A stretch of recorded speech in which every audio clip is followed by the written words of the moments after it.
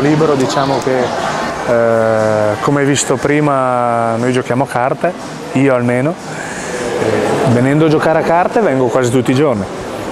Per quanto più o meno rimane? Ma due o tre orette, dipende, non è che mi fisso un tempo, anche perché non ho nient'altro da fare, quindi per perdere un po' di tempo gioco a carte. Hai conosciuto qui degli amici? Sì, penso, penso proprio di sì.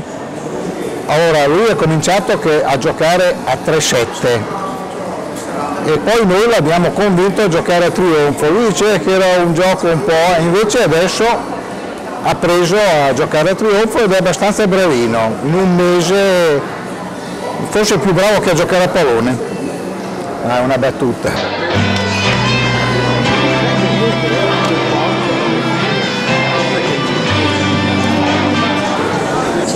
Giocatori della SPAL che vengono qui? Sì, assolutamente sì. Molti.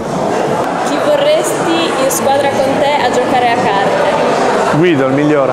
Ghetti.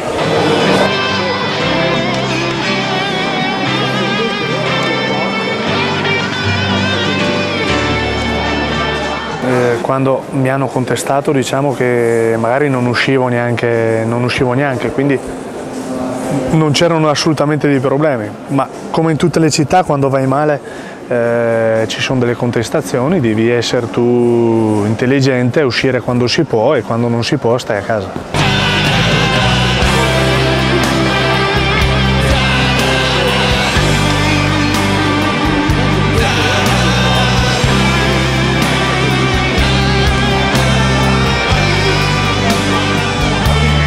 Preferisci